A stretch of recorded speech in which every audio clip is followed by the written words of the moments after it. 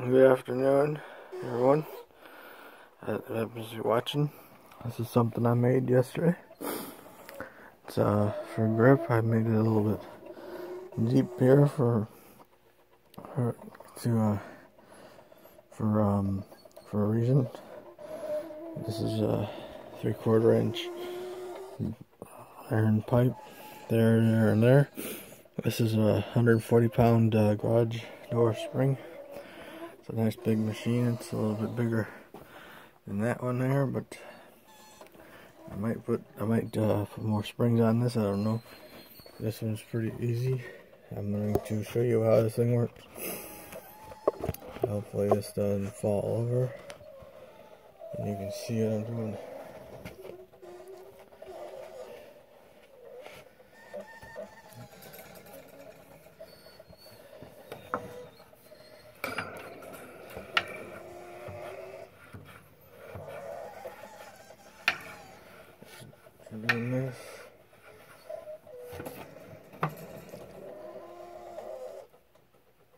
And uh,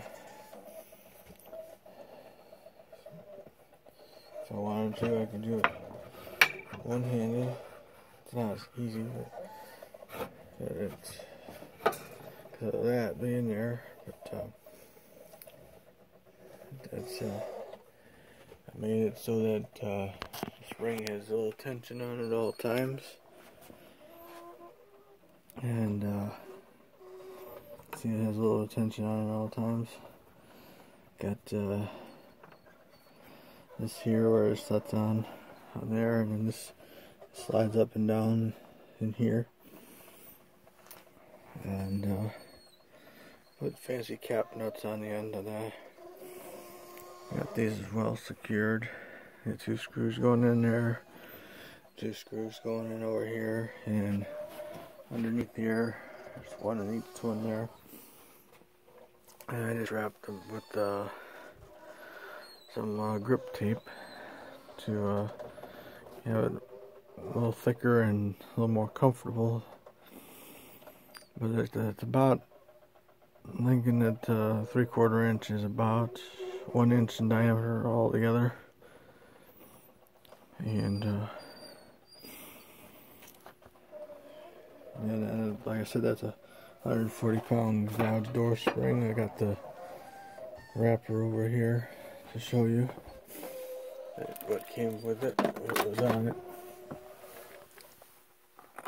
A little bit of a mess in here today, but uh, this is what it's right here.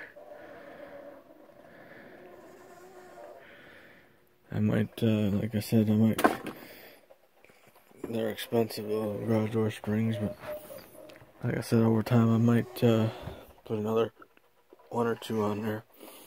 Seeing that this is fairly easily done, I thought maybe if I put some tension on that, gave it a wide space there, to uh, it would uh, be tighter to pull up, and that didn't work out like I thought it would like that, but Still a good little, good little resistance on there.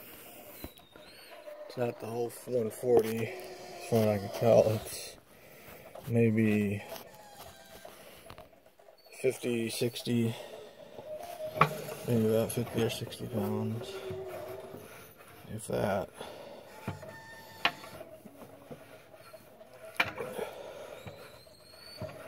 It works pretty good.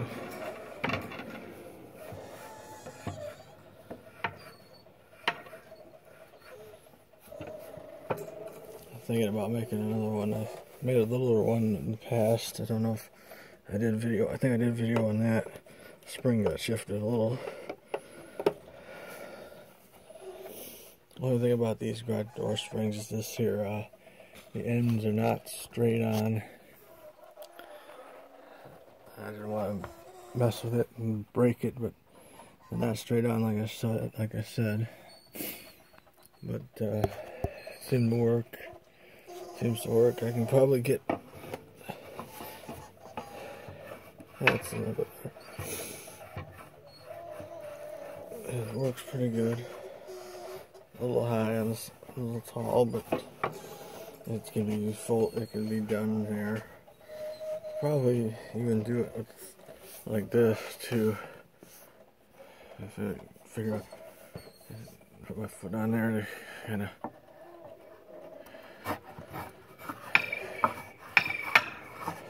A a little uh, sticky because it's not quite what I was looking for with this, but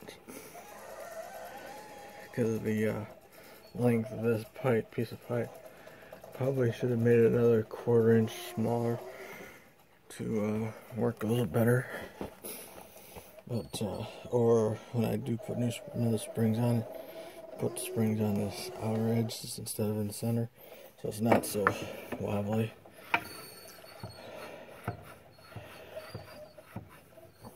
And the only way to really get to changing it is to, to put add it on there is to take a piece of this down on each side and then unscrew the rod at the bottom.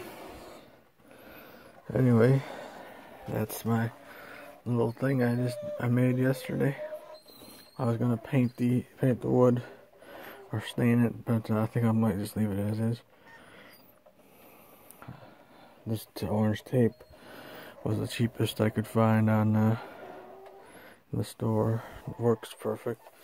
It's grip tape. Anyway, thank you for watching.